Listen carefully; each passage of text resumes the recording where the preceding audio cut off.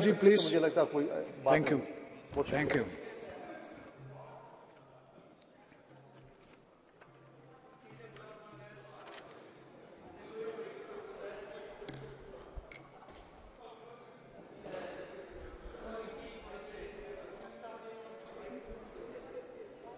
சட்ட வடிவம் பெற்றிருக்கிற பெறுகிற நிலையில் இதை முழுமையாக ஆதரிக்க இயலவில்லை பெண்களுக்கு முப்பத்தி மூன்று சதவிகிதம் அல்ல ஐம்பது சதவிகிதம் கொடுக்க வேண்டும் என்பதுதான் இந்திய கம்யூனிஸ்ட் கட்சியினுடைய நிலையாகும். அத்தகைய நிலையில் இருக்கிற நாங்கள் இதை ஏன் ஆதரிக்க இயலவில்லை என்றால் இந்த சட்டம் எப்பொழுது நிறைவேறும் என்றே தெரியாது. ரெண்டாயிரத்தி இருபத்தி ஒன்னில் சென்சஸ் எடுக்கப்படவில்லை. எப்பொழுது இந்த அரசு சென்சஸ் எடுக்கும் என்றே இந்த அரசுக்கே தெரியாது. இரண்டாவது அடுத்த சென்சஸ் ரெண்டாயிரத்தி முப்பத்தி ஒன்னில் தான் வரும்.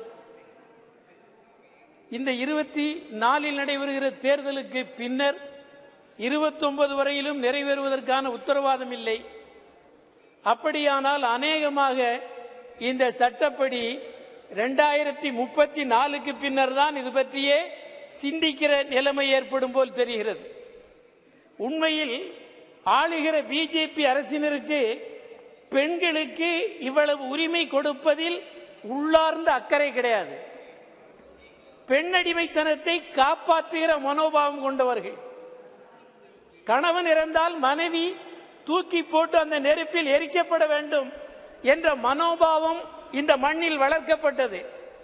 அந்த மனோபாவம் கொண்ட தீய செல்வாக்கின் காரணமாகத்தான் இந்த அரசு இரண்டாயிரத்தி இருபத்தி நாலிலேயே கொண்டு வர வேண்டியதை ஏன் தேதியே குறிப்பிடாமல் நீடிக்கிறது என்று தெரியவில்லை.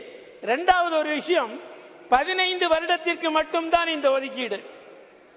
பதினைந்து வருடத்திற்கு பின்னர் இந்த ஒதுக்கீடு பற்றி எதுவும் தெரியாது. அதற்கு பின்னர் இது நீடிக்காது.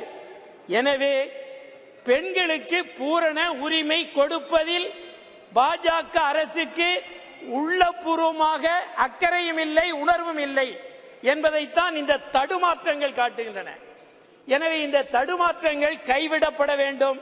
இரண்டாயிரத்தி இருபத்தி நாலிலேயே நிறைவேறுகிற முறையில் இந்த சட்டம் உரியபடி திருத்தப்பட்டு முன்வைக்கப்பட வேண்டும். இப்படி நாங்கள் வலியுறுத்த விரும்புகிறோம்.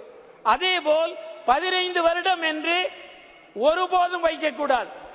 அத்தகைய வரம்பு கட்டுவது என்பது பெண்ணுக்கு உரிய உரிமையை வழங்க ஒப்புக்கொள்ளவில்லை என்றுதான் பொருள். எனவே அவற்றையும் நீக்க வேண்டும். நீண்ட காலமாக போராடி வருகிறது இந்திய கம்யூனிஸ்ட் கட்சி.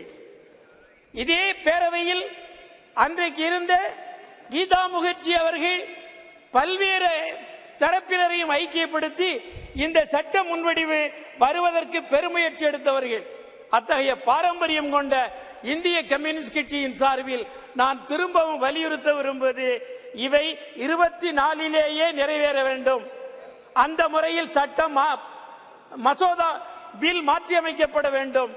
எந்த வரம்பும் கட்டக்கூடாது என்பதை தெரிவித்து விடைபெறுகிறேன்.